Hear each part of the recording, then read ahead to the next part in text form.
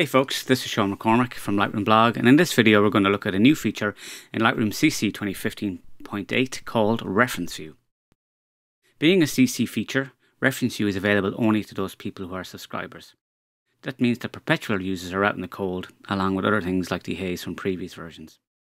There is great value in being a CC subscriber, not just in new features. You obviously get Photoshop as well.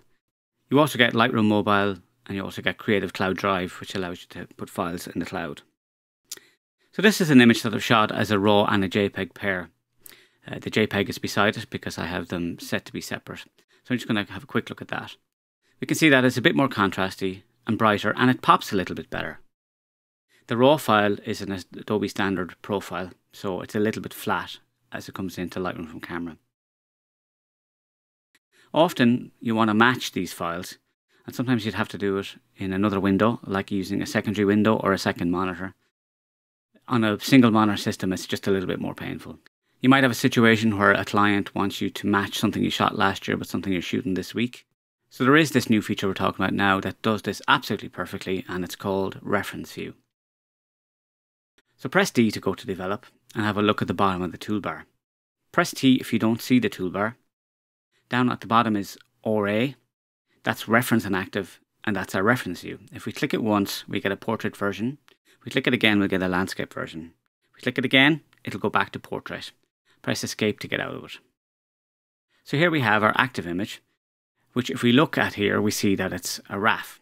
Again, go beside it, grab the JPEG and drag the JPEG onto the reference image area. We can see that these do look quite different.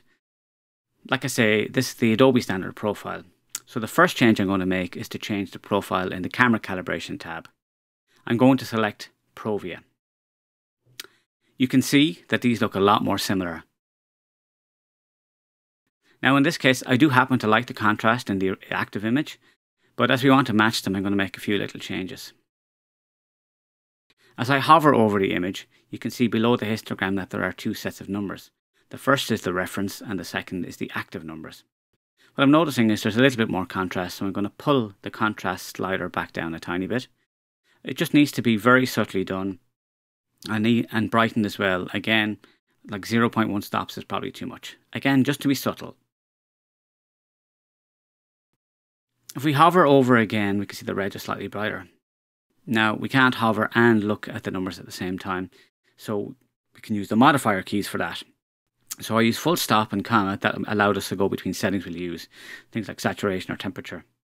The temperature looks okay here initially, so I'm going to use the tint. So we can change that using the minus or plus keys.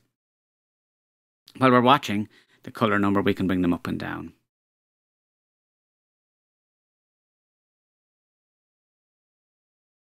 Okay, the numbers aren't changing as dramatically as I'd like, so I'm just going to move it across a lot and have a look. The red is changing, but the overall image has become a bit too green. You do have to balance what you're seeing on screen with what the numbers are saying and go for a little bit of visual reference. We're within a percent here, so it's quite close. The biggest difference here has been the change of the camera profile. After that, each of the changes we're making are very, very subtle. So if I press L for lights out and lights dim, we can see that there are slight differences. This one is bluer this one is slightly warmer, but the difference are quite subtle.